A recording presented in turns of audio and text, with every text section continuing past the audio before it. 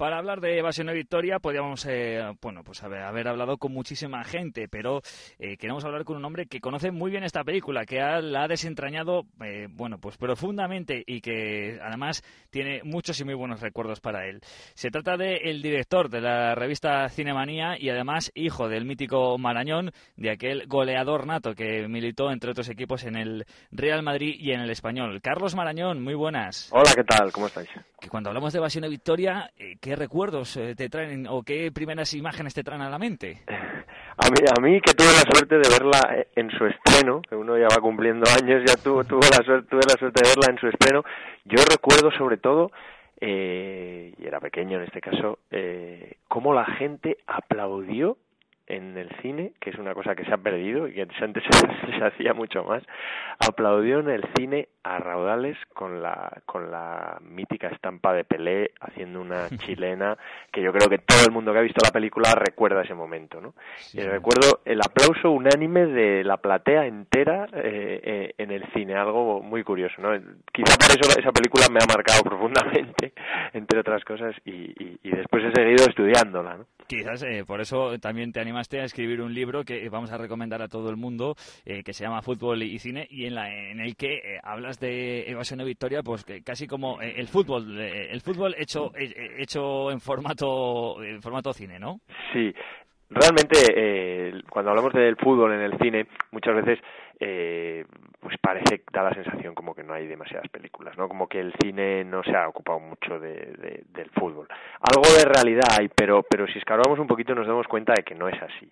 Lo que sí es cierto es que a pesar de que no hay muchas eh, películas que, que narren partidos dentro de, del metraje, eh, sí que es verdad que Evasión y Victoria es la más mítica. Y, y, y, es muy mítica incluso a pesar de que probablemente para un crítico cinematográfico que, que, que no se meta en disquisiciones, disquisiciones futbolísticas, eh, a pesar de que no sea muy buena, ¿no? La película probablemente no es muy buena. Sin embargo, es mítica, ¿no? Podríamos decir que es como el Casablanca, la Casablanca de, del, del, cine y fútbol, ¿no? Porque, porque realmente Casablanca probablemente es una película que se ha convertido en mítica sin ser tampoco ninguna obra maestra. En cambio, eh, eh, tiene cosas que la han convertido en un icono. Evasión y Victoria, a pesar de que tiene cosas que, que probablemente diríamos que no son técnicamente buenas, sin embargo tiene un algo que sobre todo a los que nos gusta mucho el fútbol eh, nos puede, ¿no? Nos, convence y, la tenemos ahí. Yo creo que es inolvidable. Creo que esa es la clave, ¿no? No, no es a lo mejor una película para, para bueno, pues eh, ahí se fije mucho en elementos eh, técnicos, eh, bueno, pues tiene fallos muy claros, ¿no? Incluso en el vestuario o en maquillaje, en peluquería podríamos hablar de, de, múltiples, de múltiples fallos, pero es una película de futboleros, de los que nos gusta el fútbol de verdad y de los que nos emocionamos eh, eh, eh, al ver bueno las imágenes de, de, ese partido que bueno de la, de la, remontada del equipo aliado cómo pasa de ese 1-4 al 4-4 bueno es que eso es espectacular. Sí sí es, es, es, realmente emocionante. Ya te digo la clave probablemente está en, en, en, que en que te tiene que gustar un poquito el fútbol no al menos. Y yo que la he vuelto a ver muchas veces y, que cada vez que la reponen la tengo en casa obviamente en DVD y la tengo en, diversos formatos pero cada vez que la reponen te atrapa. Eh, aparte juega muy bien con, con, con, otro subgénero, que es el subgénero de los campos de concentración, que, que, que, suele ser un género bastante agradecido en el cine. Suelen, suelen salir bastantes buenas películas eh, con un campo de concentración, ¿no? No es que todas, no es que sea mano de santo, pero, pero digamos que, que, en este caso John Huston eh, acertó, ¿no? Acertó, a pesar de que, digamos que todo viene de una historia que eh, algunos dicen que es realidad, yo me quedaría más en la leyenda, ¿no? que es la historia del Dinamo de Kiev en la Segunda Guerra Mundial. Eso es, eso es. Bueno, ahí, ahí, está para los que se la quieran creer y si no, bueno, pues eh, la historia del Dinamo que parece que sí que fue cierto, ¿no? Que, los fusilaron a todos, ¿no? Parece ser que sí. Al final, lo que, que, tiene, el final eh, real fue ese, ¿no? Que, los fusilaron a todos. Exacto. Pero nadie se pone muy de acuerdo en decir si, si eh, parece ser que sí, que había unos presos que jugaron contra oficiales o soldados alemanes y que mm, lo que nadie se pone muy de acuerdo es en saber si era exactamente un equipo organizado como Dinamo de Kiev o si es que había algunos jugadores dentro de un grupo de presos. Tampoco se ponen muy de acuerdo, hay diversas versiones eh, sobre, sobre si ganaron, sobre si empataron, sobre si podían haberse dejado perder o no, sobre si eran superiores a los alemanes. Digamos que a partir de ahí eh, el gobierno soviético ganador de la guerra y que luego siguió muchos años, digamos que creó una leyenda eh, de eso, una leyenda que es muy bonita, por cierto, y que tiene y que tiene incluso un monumento en, en, Kiev eh, y, que bueno y que más o menos ha hecho que, que, que, que, se pudiera hacer una película similar, en este caso con futbolistas aliados, ¿no? Además es curioso, aparte de los que todos recordaremos a Pelé o a Sylvester Stallone o incluso a Michael Caine, es curioso como ellos eh, llamaron a futbolistas de un equipo que en ese caso Town, un equipo que, que, que, que, estaba en aquel momento haciendo muy buen papel en la UEFA en aquellos años y eh, eh, que tenía Bobby Robson como, como entrenador, el ex entrenador del Barça. Y pues tú imagínate cómo es que llegue un, un, un, productor de cine un día al entrenamiento, ponte de un equipo pues como pudiera ser hoy el, pues no sé, qué decirte, el Atlético Madrid o el Villarreal, un equipo que esté luchando por el Valladolid o eh, que esté luchando por la UEFA o por la Champions y, y, que llegue un día al a un entrenamiento y cuando va a acabar la temporada y, les pregunte si quieren ir a Hungría a rodar una película con Pelé. la verdad es que tuvo que ser la situación cuanto menos curiosa. Eh, en cuanto eh, al director, a John Huston, es una película quizás alejada ¿no? de, de, los eh, géneros que, que, había hecho hasta entonces y quizás es, es una pequeña islita dentro de su filmografía que, bueno, a nosotros particularmente nos encanta, ¿no? Pero no, fue, no fue el género y desde luego no era, no parecía el John Huston de, de otras películas, ¿no? Cierto, yo, John Huston, digamos, ha sido el gran retratista del perdedor, ¿no? Del perdedor que, que, que, que, hace su última hazaña y, lo hemos visto en, películas que van desde La Reina de África con Humphrey Bogart y, Catherine Hepburn hasta El Hombre que pudo reinar, ¿no? Con Michael Caine y, Sean Connery, ¿no? Y, y, sin embargo no se sabe que, que él sea un, un gran aficionado al fútbol. Es un irlandés que desde crío ya llega a Estados Unidos. No, no, es, no parece ser un gran aficionado al fútbol, a pesar de que después volvió a colaborar con Pelé. Pero probablemente eh, esta película, eh, como la otra que hizo con Pelé, que se llamaba 11 más 1, que, en la que él aparecía como actor, eh, no era director en este caso, sino que era, que era, que era actor, probablemente las hiciera para sacar dinero para poder hacer otras películas que quizá él le, interesaban más como de la, de la última etapa de su carrera donde ya probablemente no confiaban tanto en él para, para grandes presupuestos ¿no? yo creo que Dublineses que es su última película de película póstuma probablemente la pagó con el dinero que sacó de, de, Evasión o Victoria ¿no? Sí, efectivamente, también se da mucho en la, en la industria, ¿no? Aquello de déjame rodar algo que yo quiero y primero te hago una película comercial para, para conseguir por lo menos eh, financiarla de alguna manera, ¿no?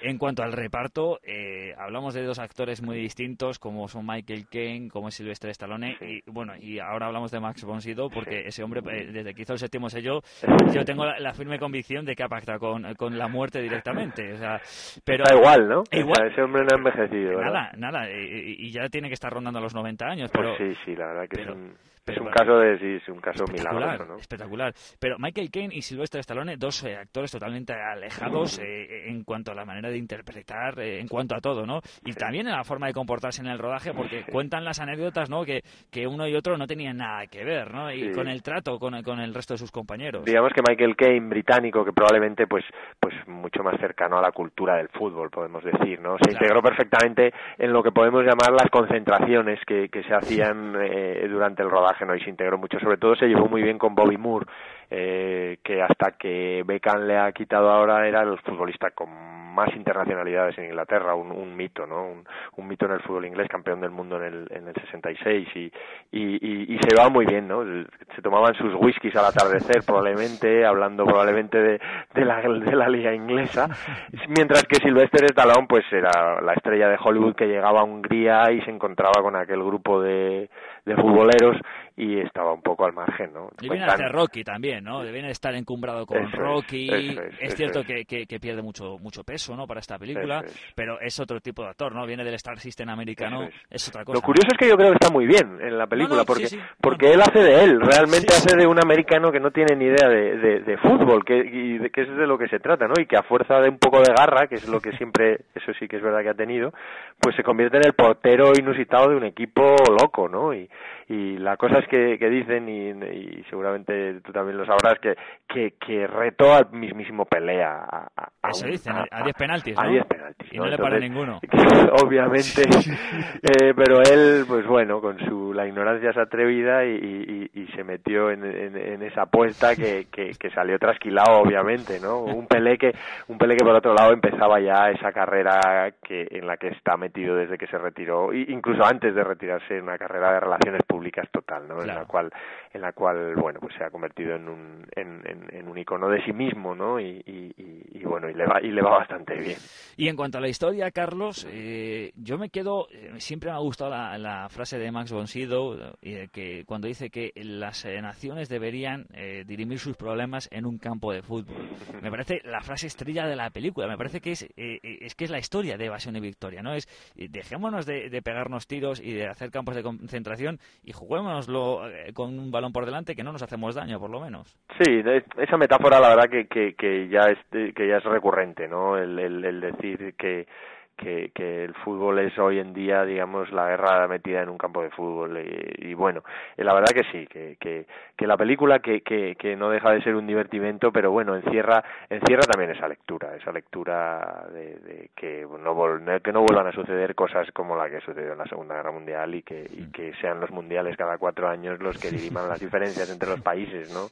Eso es la verdad que sería ideal, y sería ideal, por supuesto. En cuanto al partido, por último, eh, el partido bueno, es que el partido, no sé qué, eh, nos falta eh, haberlo narrado aquí con una voz de narrador de, cualquier radio española porque porque es, es, fenomenal. ¿eh? El partido, claro, en la película el narrador, digamos que es alemán y por lo tanto él, si te fijas, pone cuando mete los, goles, cuando pone los goles alemanes, pues él sube, el, sube una, una voz, música grabada para que parezca que la gente está enfervorizada. pero, pero, pero la verdad es que sí. Yo la verdad que en el libro intenté hacer una especie de, de narración del partido, ¿no? que es algo que, que, yo no había visto y que, y que incluso pues con una ficha técnica de, de, que mete los goles y, y, y, la verdad que es un partido es un partido muy divertido, ¿no? Con un, con un 4-1 al descanso y, y, Pelé lesionado. Y con la ocasión de fugarse. Claro, en aquellos tiempos no había cambios todavía, o sea que, que digamos que, que, que, era, que era un fútbol muy diferente, ¿no? Pero, pero pero sí que es verdad que, que el partido que además ocupa casi pues casi tres cuartos de hora del, del de la película, de la película mm. eh, algo que, que no se suele dar eh, la verdad que que bueno a pesar de que los rodajes y los medios técnicos todavía en aquella época no habían alcanzado el nivel que ahora mismo sí pueden haber alcanzado. Ahora mismo, si tú ves, y muchas veces gracias a la publicidad y gracias a, a, a las minicámaras y tal, sí que se puede conseguir una sensación de fútbol más real de la que